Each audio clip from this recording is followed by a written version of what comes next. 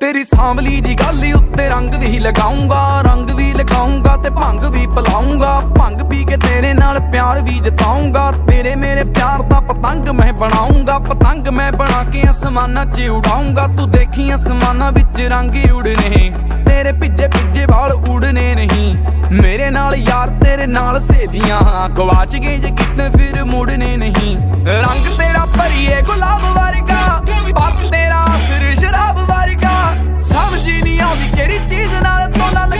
ਤੇਰਾ ਮੈਥ ਦੀ ਕਿਤਾਬ ਵਰਗਾ।